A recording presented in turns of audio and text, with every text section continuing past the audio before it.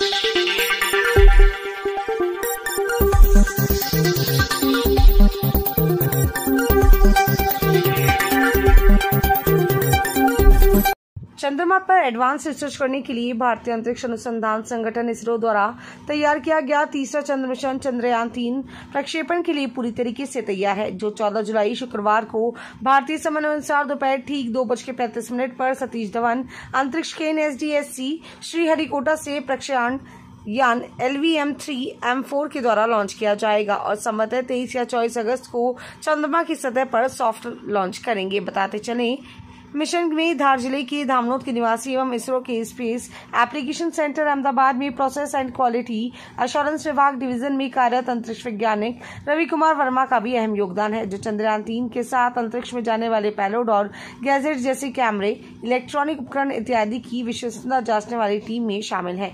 इससे पहले वे चंद्रयान एक दो, मंगलयान एक सौ चार सैटेलाइट प्रक्षेपण जैसे अनेक अभियान में भी सहभागिता निभा चुके हैं। साथियों, मैं रवि कुमार वर्मा, धार ज़िले की धर्मपुरी तहसील के धामनोद नगर का निवासी हूँ। मैं इसरो के अंतरिक्ष उपयोग केंद्र अहमदाबाद में एज ए साइंटिस्ट मीन्स वैज्ञानिक के तौर पर काम कर रहा हूँ।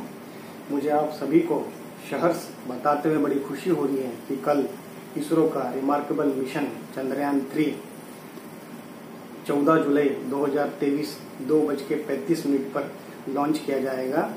जो जीएसएलवी मार्क थ्री रॉकेट के द्वारा Sriharikota mean Satish Dhawan space centre Sriharikota से लॉन्च किया जाएगा।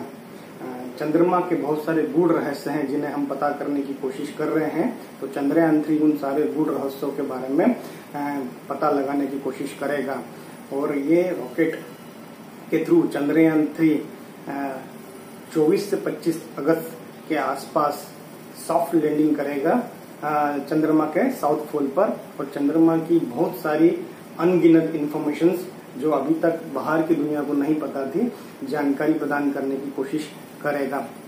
तो मैं आप सभी को इनवाइट करता हूँ कि कल आप लाइव स्ट्रीमिंग पे चंद्रयान थ्री की लॉन्चिंग 14 जुलाई 2025 को दो बज के पैंतीस मिनट पर इसरो की साइट पर देखें। और इस, इसके थ्रू इसरो उन गिने चुने चार देशों में आ जाएगा, जो इस तरीके के स्पेस के प्रोग्राम करने में सफल रहे हैं। इसके साथ ही इसरो आने वाले दो महीने के अंदर, जिस तरह हम चंद्रमा पे हम अपना विजय पताका या हमारा राष्ट्र ध्वज फैलाने जा रहे हैं, इसी तरह कुछ दिनों या कुछ महीनों के बाद हम आदित्य एलवन मतलब सूर्य के बारे में भी बहुत सारी इन्फॉर्मेशन जानने का प्रयास करेंगे। धन्यवाद।